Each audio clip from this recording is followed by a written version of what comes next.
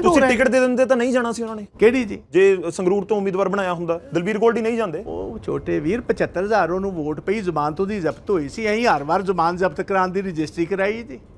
ਵੀਰ ਗੋਲਡੀ ਨੂੰ ਵੀ? ਉਹਦੇ ਤੇ ਕੇਸ ਹੈ ਨਹੀਂ ਸੀ ਵਿਜੀਲੈਂਸ ਦਾ ਜੀ। ਤੁਸੀਂ ਮੈਨੂੰ ਦੱਸੋ ਨਾ ਉਹਦੇ ਤੇ ਕੇਸ ਹੈ ਨਹੀਂ ਸੀ ਕਿ ਵਿਜੀਲੈਂਸ ਦੇ ਆਪਰੇਸ਼ਨ ਹੀ ਹੋਇਆ ਜੀ? ਤਾਂ ਡਰ ਦੀ ਵਜ੍ਹਾ ਨਾਲ ਚਲੇ ਗਏ। 100% ਹੋ ਤੁਸੀਂ ਟਿਕਟ ਦੇ ਦਿੰਦੇ ਤਾਂ ਨਹੀਂ ਜਾਣਾ ਸੀ ਉਹਨਾਂ ਨੇ? ਕਿਹੜੀ ਜੀ? ਜੇ ਸੰਗਰੂਰ ਤੋਂ ਉਮੀਦਵਾਰ ਬਣਾਇਆ ਹੁੰਦਾ ਦਲਬੀਰ ਗੋਲਡੀ ਨਹੀਂ ਜਾਂਦੇ? ਉਹ ਛੋਟੇ ਵੀਰ 75000 ਉਹਨੂੰ ਵੋਟ ਪਈ ਜ਼ਮਾਨਤ ਉਹਦੀ ਜ਼ਬਤ ਹੋਈ ਸੀ। ਅਸੀਂ ਹਰ ਵਾਰ ਜ਼ਮਾਨ ਜ਼ਬਤ ਕਰਾਉਣ ਦੀ ਰਜਿਸਟਰੀ ਕਰਾਈ ਜੀ।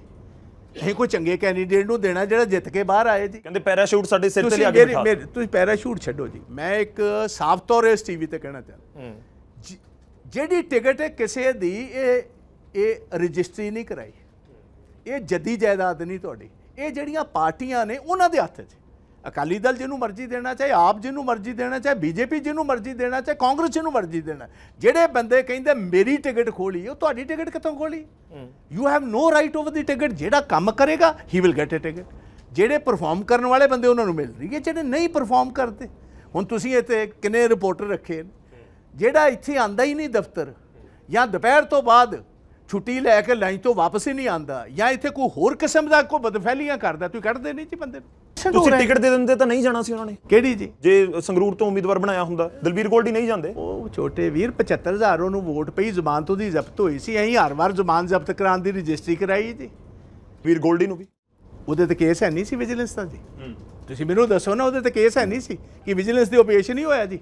ਤਾਂ ਡਰ ਦੀ ਵਜ੍ਹਾ ਨਾਲ ਚਲੇ ਗਏ। 100% ਹੋ ਤੁਸੀਂ ਟਿਕਟ ਦੇ ਦਿੰਦੇ ਤਾਂ ਨਹੀਂ ਜਾਣਾ ਸੀ ਉਹਨਾਂ ਨੇ। ਕਿਹੜੀ ਜੀ? ਜੇ ਸੰਗਰੂਰ ਤੋਂ ਉਮੀਦਵਾਰ ਬਣਾਇਆ ਹੁੰਦਾ ਦਲਬੀਰ ਗੋਲਡੀ ਨਹੀਂ ਜਾਂਦੇ। ਉਹ ਛੋਟੇ ਵੀਰ 75000 ਉਹਨੂੰ ਵੋਟ ਪਈ ਜ਼ਮਾਨਤ ਉਹਦੀ ਜ਼ਬਤ ਹੋਈ ਸੀ। ਅਸੀਂ ਹਰ ਵਾਰ ਜ਼ਮਾਨ ਜ਼ਬਤ ਕਰਾਉਣ ਦੀ ਰਜਿਸਟਰੀ ਕਰਾਈ ਜੀ।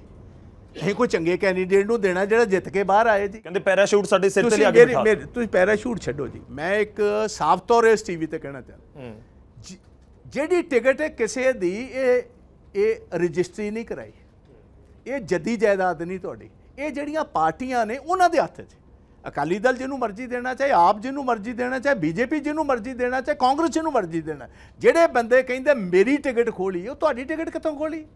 You have no right over the ticket ਜਿਹੜਾ ਕੰਮ ਕਰੇਗਾ he will get a ticket ਜਿਹੜੇ ਪਰਫਾਰਮ ਕਰਨ ਵਾਲੇ ਬੰਦੇ ਉਹਨਾਂ ਨੂੰ ਮਿਲ ਰਹੀ ਹੈ ਜਿਹੜੇ ਨਹੀਂ ਪਰਫਾਰਮ ਕਰਦੇ।